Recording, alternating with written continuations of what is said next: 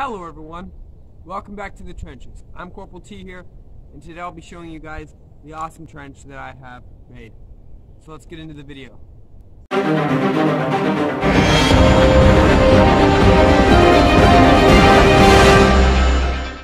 So this trench basically came into being um, probably a week ago. It took about three hours to make. Um, it is not completely historically accurate. Uh, please no comments about it not being historically accurate. The sandbags are not historically accurate, and it's not in any specific Army regulation uh, being. Like, it's not in any of that. It's kind of just something I popped together. Um, but basically, I also did not dig this trench. This is a natural irrigation ditch, kind of. Not an irrigation ditch, but it's just a natural ditch that I found out under the woods behind our new house. Um, because the lands that we live um, on are covered by the RPA, I'm not allowed to dig anything. So I just plopped a bunch of stuff here and it works and it looks good. So without further ado, here we go. This trench is about three feet deep, just deep enough to keep you completely concealed with a layer of sailbags onto you. You can lay down and it's actually meant to be used as an MG nest. You usually wouldn't, you know, this isn't meant for people, it's meant for a machine gun.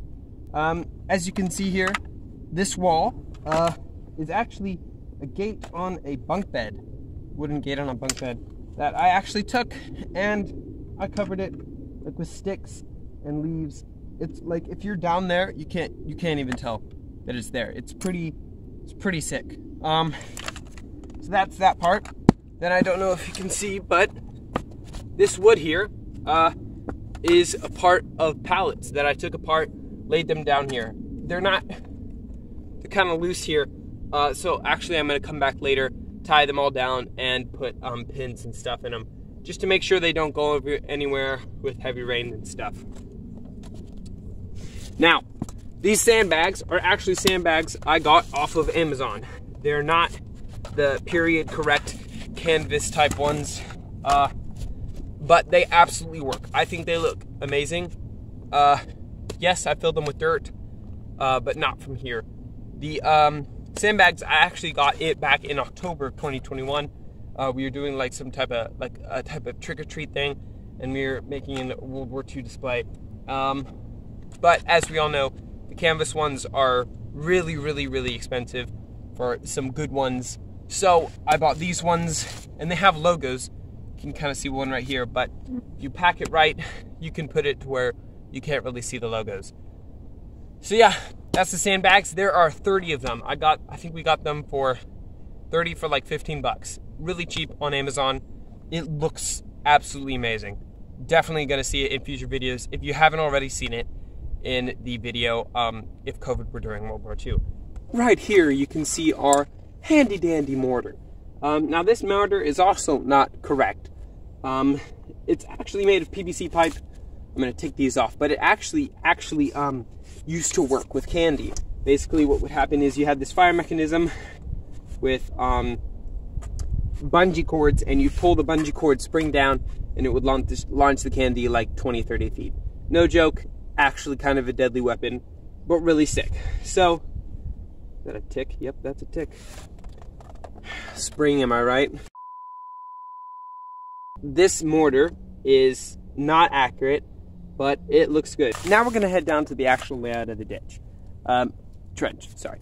Um, this trench lays out, I would say it's about 10 feet wide and probably good 10 feet long. It's, it's pretty same size on either side.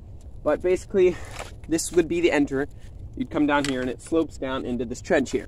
You have one, one line of sandbags here, three high, and one line here, three high. Uh, then you have the wood, the mortar, and the wall. Now, there's also a wall here, which we'll get to in a second. Now here you can see trench wall one. It's basically the ladder of the same bunk bed, and leaves and sticks thrown on top of it. And that's trench wall number two. Now that trench wall is also the bunk bed, um, with sticks and leaves. what do you guys? Um, it actually looks pretty good as it can as you can tell, we had a really, really, really heavy rain a couple days ago, so a lot of it's washed away. And that's pretty much the trench. If you liked it, then I would encourage you to like, share, and subscribe. A lot of work, as you can tell, goes into making these videos. So please, like, share, and subscribe. Comment down in the video if you liked it, what you enjoyed about it, or what you want to see next. I think that's all we got for today, boys. Corporal T out.